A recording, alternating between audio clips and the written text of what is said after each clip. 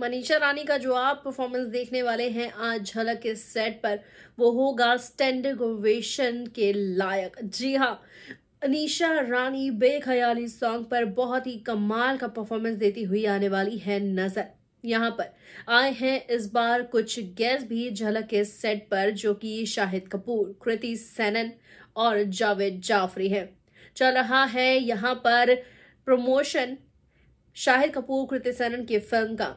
वहीं इसी बीच शाहिद के ही गाने पर बेख्याली सॉन्ग पर जो मनीषा रानी ने परफॉर्मेंस दिया, उस पर हर किसी ने तो उन्हें स्टैंडिंग ओवेशन दिया, उनकी तारीफ़ की, बहुत अपनी ओर से प्यार दिया, लेकिन जावेद जाफरी यहाँ मनीषा की तारीफ़ करते हुए नहीं थके। जी हाँ मनीषा को खूब प्रेस करते हुए नज़र आए हैं जावेद जाफरी, लेकिन उनकी बेख्याली वाली परफॉर्मेंस पे तो ज़रूर, लेकिन गोलमाल सॉन्ग पर भी जो उन्होंने परफॉर्म किया है स्पेशली उस पर।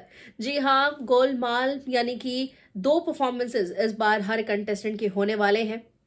सब अपनी इंडिविजुअल कोरियोग्राफर के साथ डांस करते हुए तो नज़र आएँगे ही लेकिन कुछ ग्रुप्स में बढ़कर भी डांस होने वाले हैं जिसमें एक ग्रुप के अंदर मनीषा रानी जो है वो यहाँ गोलमाल सॉन्ग पर परफॉर्म करती हुई नज़र आएँगी एक्चुअली धमाल सॉन्ग पर डांस करती हुई नज़र आएँगी और इसी के साथ आ, एक जो फ़िल्म है ढोल जो ढोल उसका नाम है शायद जो जावेद जाफरी की फ़िल्म है, उसका एक कॉन्सेप्ट अपने इस गाने में परफॉर्मेंस में जो वो दिखाएँगी, जावेद इसको खूब प्रेस करते हुए नज़र आने वाले हैं और इसे देखकर आप सभी को खूब मज़ा आने वाला है क्योंकि फुल ऑन एंटरटेनमेंट वाली ये परफॉर्मेंस होगी मनीषा रानी के लिए। इसके देखने के लिए आप कितना एक्साइटेड है कॉमेंट सेक्शन में ज़रूर बताएगा।